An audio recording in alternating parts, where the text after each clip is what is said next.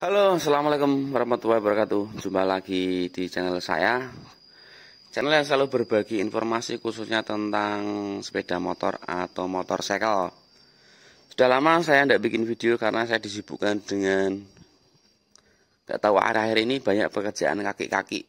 Seperti motor CB ini Ini juga mengerjakan kaki-kaki dia pasang arm yang tadinya pakai swimming arm KC diganti pakai motor ninja. Motor ninja 2 tak 150 cc. Ada herek itu juga CB kaki-kaki juga. Ini juga kedatangan motor custom.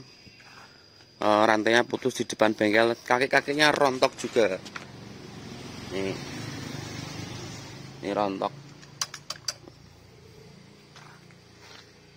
Rontok parah nih. Ini tidak center menceng semua. Menceng belakang depan juga menceng. Sama juga.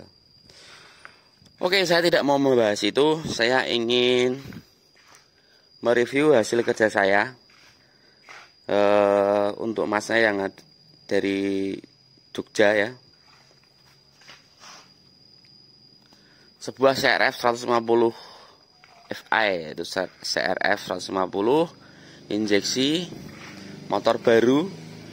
Uh, baru mas baru. Platnya aja 2025 ini masih baru. Dilakukan perubahan yaitu tampilan menjadi supermoto Karena CRF ini tadinya adalah berbentuk trail, yaitu menggunakan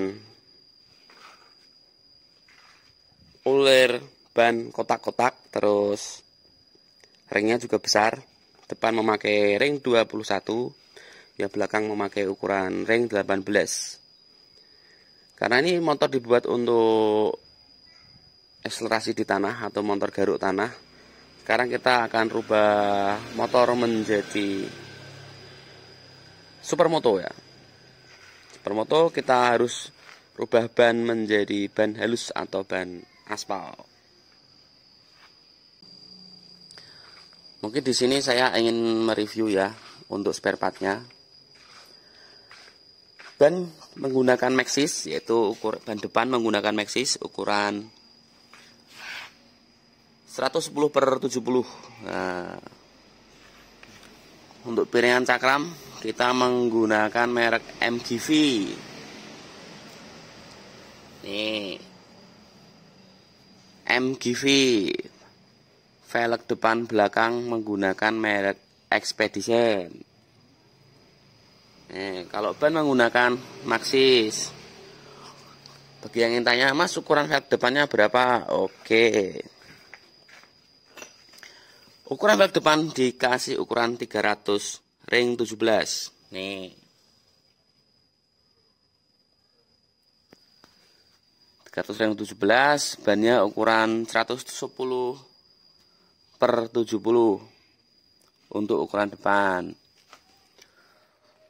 Terus ban ukuran belakang sama kita menggunakan Maxis. Ukurannya 130 per 70 ring 17. Nah, ini masih ada stikernya masih nempel. Velg sama menggunakan Expedition. Ukurannya 350. Nah, 350 uh, ring 17. Agak gede ya biar kekar, Mas. Terus tromol depan belakang menggunakan merek Freeday.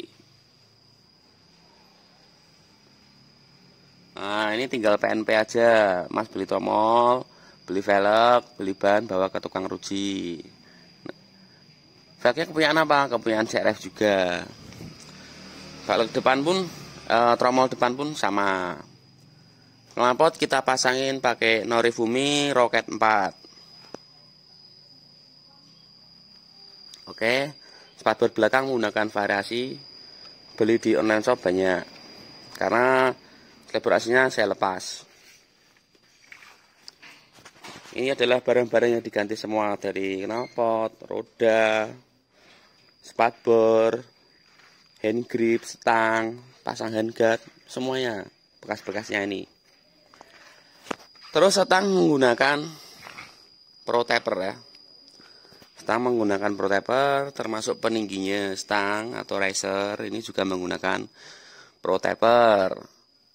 Hand grip sama menggunakan pro taper. Nih, hand grip pro taper. Termasuk handguard ya.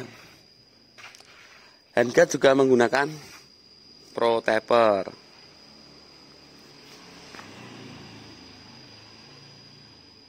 Ya, handle kopling juga diganti menggunakan uh, produk troli troli desain ya. Desain dari troli handle kopling handle rem. Motor ini banyak merah ya. Memang ini lagi trennya pesulap merah. Jadi serba merah. Handguard merah hand grip merah handle kopling handle rem merah velg merah piringan depan pun ikut merah.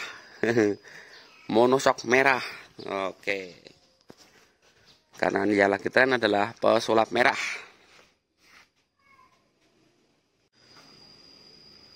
Kendala yang susah di sini adalah pemasangan handguard karena untuk bos aslinya dudukan handguard yang ada di setang itu tidak masuk di setangnya.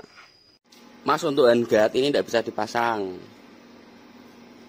Harus buat ke rumah baru karena ini yang aslinya bawaan ini tidak bisa masuk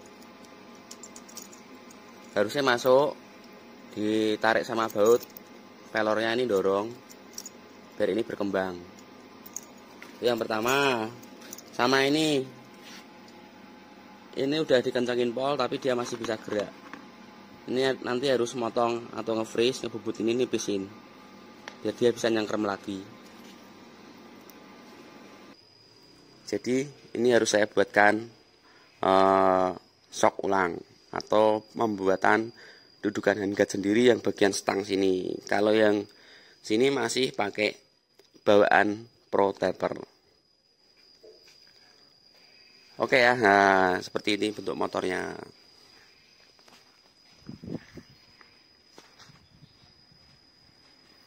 sudah keren sudah keren bisa buat nongkrong atau buat jalan-jalan sama pacarnya.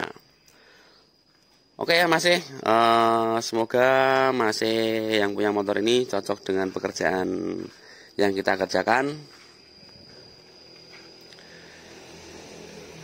Semoga puas, kita tunggu kabarnya secepatnya. Video saya akhiri dengan Assalamualaikum warahmatullahi wabarakatuh. Salam otomotif, salam tembak dalam.